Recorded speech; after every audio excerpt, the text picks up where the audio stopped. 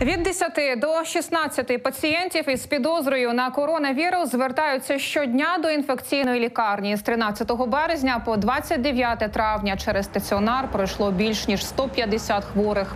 Наразі в одеській інфекційці залишається 36 пацієнтів із підтвердженим COVID-19 та ще 78 осіб із підозрою.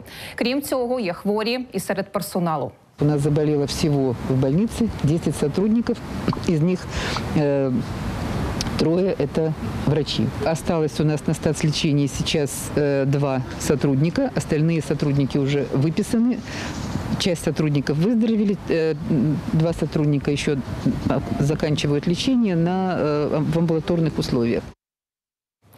Ну там сьогодні онлайн-ресторан Smile Food закінчує безкоштовно годувати обідами медиків інфекційних лікарень Одеси та Чорноморська. Так, одеський бізнес два місяці підтримував медиків, які борються з пандемією COVID-19.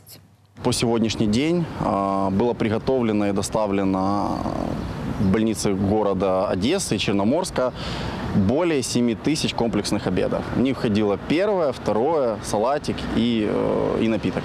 До 300 тысяч гривен было потрачено инвестиций, инвестировано да, э, в помощь непосредственно больницам.